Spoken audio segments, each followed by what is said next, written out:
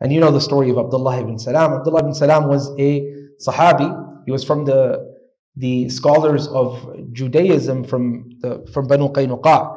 And he had come to the Prophet ﷺ, he'd asked the Prophet three questions. He said, I'm going to ask you three questions, and these three questions, no one knows the answers of these three questions except for a Prophet.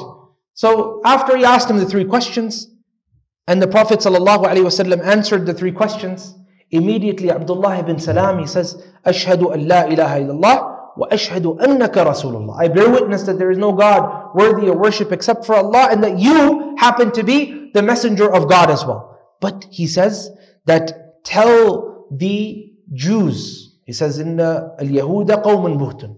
Jews happen to be very, you know, people that uh, are, are very treacherous. So go and ask them about me before you tell them that I have accepted Islam.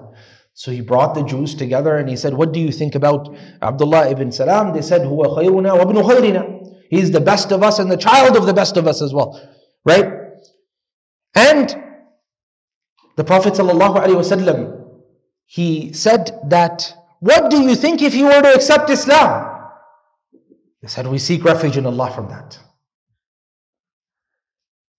He asked them a second time, what do you think if you were to accept Islam? They said, we seek refuge in Allah if uh, he does such a thing.